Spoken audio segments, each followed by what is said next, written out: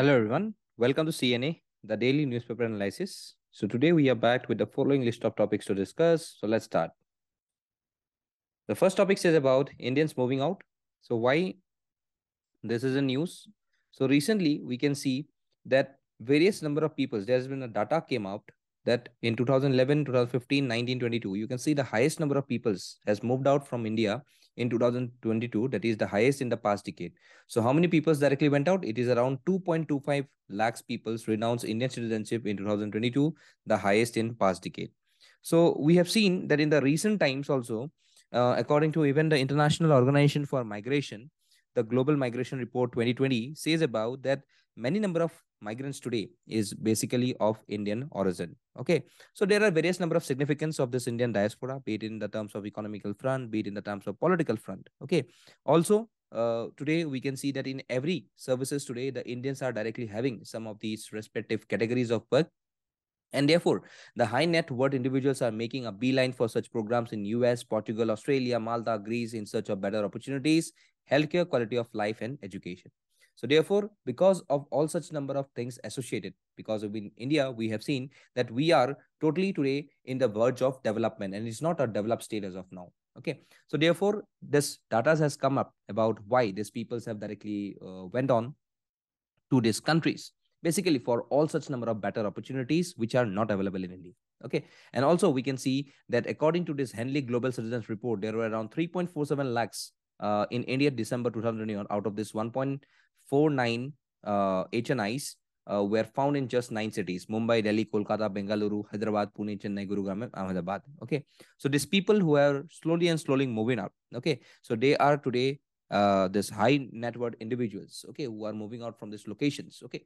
So these peoples directly find some of the important locations in some other countries, and therefore they are today moving out and acquiring the visas as well as citizenship of other nations, okay. So this was recently published by the Ministry of External Affairs, and therefore it was in news, okay. Next, sealed cover jurisprudence. So what is the sealed cover jurisprudence?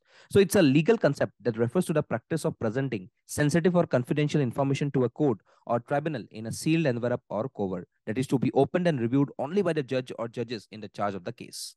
So even though there is no specific law to define the idea of sealed cover, the SC derives its power from the use from the Rule 7 of the Order 13 of the Supreme Court's Rules 2013 and Section 123 of the Indian Evidence Act of 1872.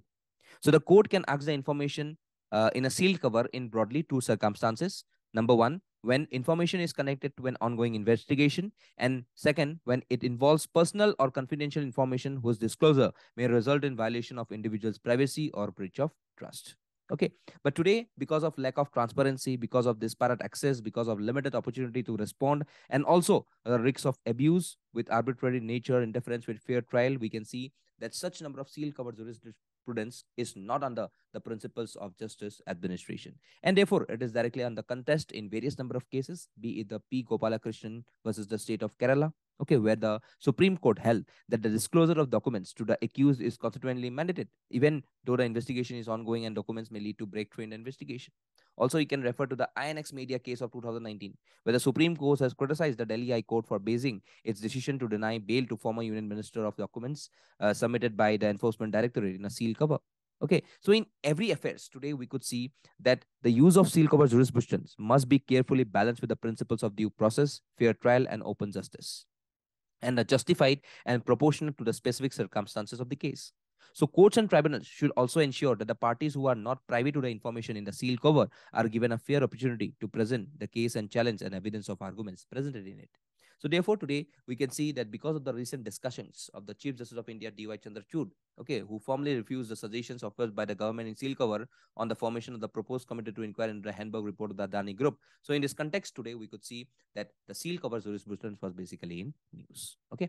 Next, another Vikrant size carrier. So we know about the recent launch of the INS Vikrant. So today we know that with the launch of the INS Vikrant, India will have two operational aircraft carriers. One is Vikrant, another one is the Vikramaditya.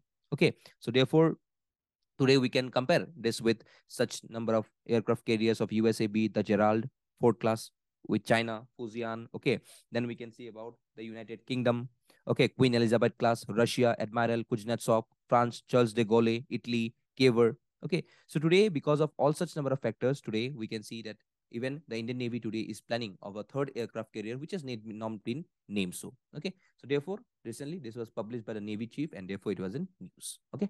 Next, India to export solar power. So we know that India is planning to export uh, solar power to some of the nearby countries, okay, which was recently been published by Bhupinder Bhalla, Secretary Minister for the New and Renewable Energy. Okay, so we all know that uh, India would target installing 500 gigawatt of electricity capacity from non-fossil fuel sources by 2030. Okay, so because of this, India was to install 175 gigawatt of renewable energy from solar, wind, biomass, and hydropower sources by December 2022, but had only installed around 122 gigawatt around December 2022. So of this solar power is around 100 gigawatt, though only 62 gigawatt has been installed. So therefore, today we can see that India is directly on the process of challenging its Chinese counterparts, which is basically going with a large production of the solar power. Okay, so slowly and slowly we can see that we are directly reaching its level and therefore it will significantly target the 500 watt by around 2030 okay so therefore today we have to remove all these bottlenecks which is directly coming up in the place of solar power. So therefore this was in news Coming to the next one, decline in rainfall can affect Brahmaputra Basin. So because of the climate change today, we can see that uh, this uh, Brahmaputra Basin, this is the whole Brahmaputra Basin is directly coming in some of the challenges today we can see with respect to the sharp decline in rainfall. So we can see that around 800 million people are contingent on water from the Brahmaputra Basin. And hydrology of Brahmaputra Basin is one of the most vulnerable in the world, which is subjected to combined effect of snow melting and extreme monsoon rainfall. So climate change has the potential to intensify the hydrological cycle, leading to more intense precipitation with associated changes in the temporal and spatial distribution of water ability in the Brahmaputra Basin. To what extent climate change will impact on the river flow of Brahmaputra Basin is not yet clear. So many researchers have been uh, like have been done. Okay. Uh, however, the assessment of climate change impacts on the basin scale hydrology by using well-calibrated hydrological modeling has seldom been conducted by the Brahmaputra basin due to lack of observed data for calibration and validation. Okay. So therefore, today, if you have to see about this respective river, so if I needs to protect this river, we have to project some of the peak flow, which may lead to even devastating floods in the respective future. So therefore, today, uh, if I have to directly go with the process of, uh, of conserving this Brahmaputra basin, then obviously uh, this uh, decline in rainfall with respect to climate change is a major impact that can be seen, which is maybe affecting the peoples around 800 million people who are dependent on this river for the respective resources. Okay, so this was in news. Lastly, the MP model in agriculture. So what is this? So recently we have seen that India uh, today is a dollar 3.5 trillion economy.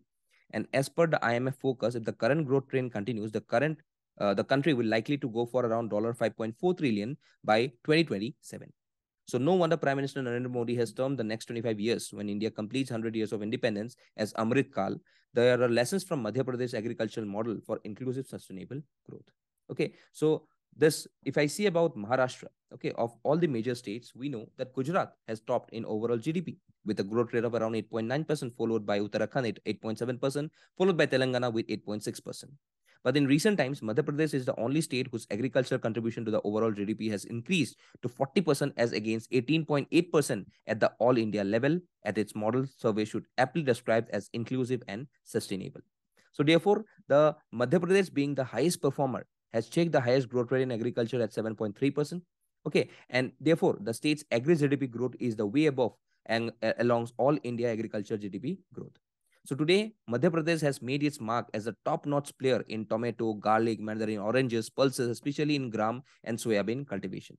So it is following a well-diversified portfolio in agriculture while doubling irrigation coverage from 24% to around 45.3% of its crops crop area over the last two decades. So therefore, Madhya Pradesh agricultural model suggests that a well-diversified portfolio in crops is behind the highest growth in the farm sector. And therefore, this is inclusive and sustainable and offers a path for other Indian states too. Okay, so as to make India growth in the sustainable atmosphere. So therefore, this MP model in agriculture is very much relevant today in our context, where all Indian states should follow this particular model so as to get a rapid growth and development with respect to agriculture. Okay, so this was in the context of this editorial. So please answer this respective five MCQs and please do join our WhatsApp and Telegram channel for further updates. So that's all for today. Thank you and Jai Hind.